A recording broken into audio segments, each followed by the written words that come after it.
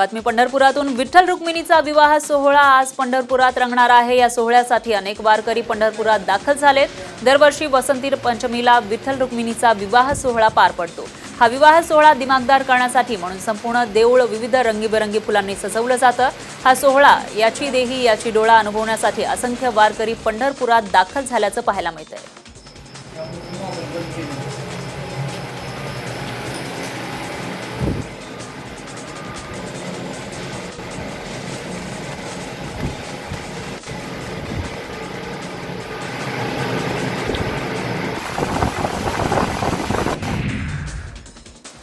राज्यामध्ये पुन्हा एकदा थंडी वाढलेली आहे. नंदुरबारमध्ये पारा तेरा अंश इतका खाली घसरलाय. तर दुसरीकडे तोरणमाळमध्ये निचांगी तापमानाची नोंद करण्यात आली आहे. तोरणमाळमध्ये सात अंश सेल्सिअस तापमानाची नोंद करण्यात आली आहे. कडाक्याच्या थंडीनं तोरणमाळमधील लोक गारठून गेले.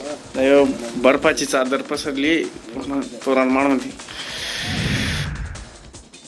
राज्यात थंडीचा जोर वाढतोय. मंगळवारी महाबळेश्वरमध्ये किमान तापमान तेरा पूर्णांक पाच अंश सेल्सिअस इतकं नोंदवण्यात आलंय. तर मुंबईचं किमान तापमान एकोणीस पूर्णांक दोन अंश सेल्सिअस इतकं होतं. दरम्यान पुढील दोन दिवसांमध्ये मुंबईच्या किमान तापमानात आणखी घसरण होईल असा अंदाज वर्तवण्यात आलाय. मुंबईत पुन्हा एका एकदा तापमानामध्ये कमालीची घट झालेली आहे. मुंबईच्या कमाल तापमानात बुधवारी साडेतीन अंशांनी घट नोंदवण्यात आली आहे. दरम्यान आजपासून थंडीचा कडाका आणखी वाढेल असा अंदाज वर्तवण्यात आलाय. त्यामुळे मुंबईकर आणखीन गारटतील पुढील दोन दिवसात राज्यात सर्वत्र हवामान कोरडं राहण्याची शक्यता आहे. प्रदेश के ऊपर जो मॉडल प्रडिक्शन हवा की दिशा आज के दिन नॉर्दर्ली कंपोनेंट कुछ प्रवेश करेगा। यानी कि कल सुबह तापमान थोड़ा बहुत गिरने का संभावना रहेगा पूरा नॉर्थ महाराष्ट्र में इंक्लूडिंग पुणे जिला, पुणे सिटी लेकिन बहुत ज़्यादा गिरा तो 12 डिग्री से नीचे नहीं जाएगा। थेट सरपंच निवडीचा निर्णय महाविकास आघाडी सरकारनं रद्दबातल ठरवलाय. आता यापुढे थेट जनतेतून सरपंचांची निवड होणार नाहीये. जनतेतून थेट सरपंच निवडीचा निर्णय याआधीच्या फडणवीस सरकारनं घेतला होता. मात्र फडणवीस सरकारचा हा निर्णय उद्धव ठाकरेंच्या नेतृत्वाखालील महाविकास आघाडी सरकारनं आता रद्दबातल ठरवलाय. मुंबई महापालिका मराठीऐवजी इंग्रजी माध्यमातल्या शिक्षकांना प्राधान्य देत असल्याचा प्रकार समोर आलाय. दहावीपर्यंत मराठी माध्यमात शिकले म्हणून पालिकेच्या शाळांसाठी पात्र ठरलेल्या एकशे दोन उमेदवारांची नेमणूक महापालिकेनं थांबवली आहे. पवित्र पोर्टलद्वारे दोन हजार सतराच्या डिसेंबर महिन्यात शिक्षकांच्या भरतीसाठी परीक्षा घेतल्या गेल्या. यामध्ये उत्तीर्ण झालेल्या उमेदवारांची महापालिकेच्या इंग्रजी शाळांसाठी ही निवड करण्यात आली. मात्र परीक्षेत पात्र ठरलेल्या एकशे दोन उमेदवारांना त्यांचं दहावीपर्यंत शालेय शिक्षण मराठीमध्ये असल्यामुळं इंग्रजी शाळेमध्ये त्यांची शिक्षक म्हणून नेमणूक करता येणार नाही असं अजब कारण देण्यात आलंय. दहावीपर्यंत त्यांचं शिक्षण जरी जरी न मराठीतून असेल तरी नंतरचं पदवी किंवा पदव्युत्तर म्हणजे ग्रॅज्युएशन अथवा पोस्ट ग्रॅज्युएशन हे इंग इंग्रजी माध्यमातून झालेलं आहे त्या उमेदवारांचं. असं असताना देखील अशा पद्धतीचं जे महानगरपालिकेचं धोरण किंवा भूमिका जी आहे ती निषेधार्ह आहे. कल्याण डोंबिवलीतील पाणी दरवाढ तुर्तास तरी टळलेली आहे. स्थायी समितीनं पाणी दरवाढीचा प्रस्ताव फेटाळलाय. यामुळे कल्याण आणि डोंबिवलीतील नागरिकांना दिलासा मिळालाय. आगामी निवडणुका डोळ्यांसमोर ठेवून ही दरवाढ रद्द करण्यात आल्याचं बोललं जात आहे. सध्या कल्याण डोंबिवलीमध्ये सत्तर टक्के पाण्याची चोरी होत असल्याचा आरोप केला जातोय. अशातच जर लोकांना पाण्यावर आणखी भुर्दंड पडणार असेल तर ही दरवाढ योग्य नसल्याचा सूर स्थायी समितीच्या बैठकीत उमटलाय. आधीच लोकांना सर्व समस्याला विकास कामाला जा सामोरं जाताना विकास होत नाही. आणि त्या अनुषंगाने पाणी दर हा वाढव वाढवण्याचा प्रस्ताव आला होता. तो प्रस्ताव हा नामंजूर करण्यात आलेला आहे आमच्या स्टँडिंग समितीमध्ये पाण्याचे दर आता कशा प्रमाणात आहेत? हा त्या दोन हजार एकोणीसला जे होतं त्याच पद्धतीने ठेवण्यात आलेला आहे.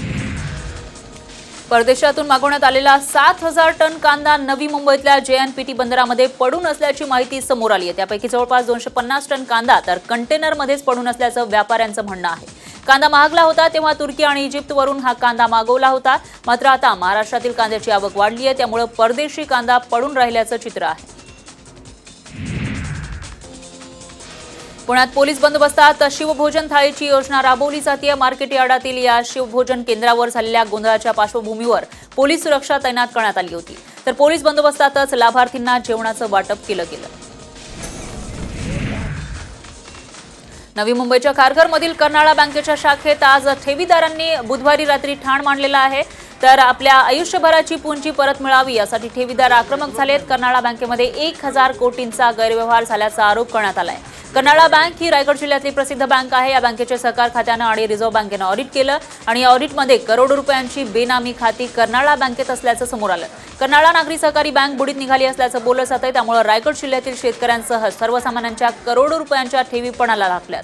तर ईडीनं त्वरित विवेक पाटील यांची संपत्ती जप्त करून खातेधारकांना पैसे परत द्यावेत अशी मागणी केली जाते. बुधवारी कसेही तुम्हाला पैसे मिळतील अशी प्रॉपर कमिटमेंट केलेली. पैसे आम्हाला मिळालेले नाहीत. म्हणून आज सर्व मुलांसकट सर्व सिनियर सिटीजन अगदी बायपास झालेली लोक पण आपल्या हॉस्पिटलमध्ये आलेली आहेत. खूप सारी लोक आहेत बायपास झालेली. की ज्यांनी ना व्याजावर पैसे देऊन स्वतःचा बायपास केलेला आहे कारण की पैसे अडकलेले आहेत बँकेमध्ये. आमचेच पैसे आम्ही मागायला बसलोय ना.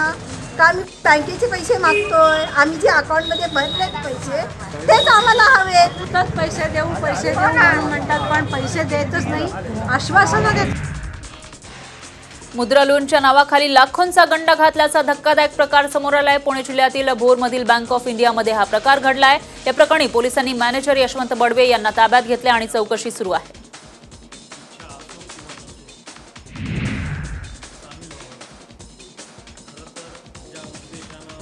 राज्यामध्ये यापुढे कोणत्याही बंदमध्ये सहभागी होणार नसल्याचा ठराव महाराष्ट्र चेंबर ऑफ कॉमर्सनं घेतलाय. सतत होणाऱ्या बंद आणि आंदोलनामुळे व्यापारी वैतागले असून यामुळे आर्थिक नुकसान होत आहे त्यामुळे व्यापारी संघटनेनं हा ठराव मांडलाय.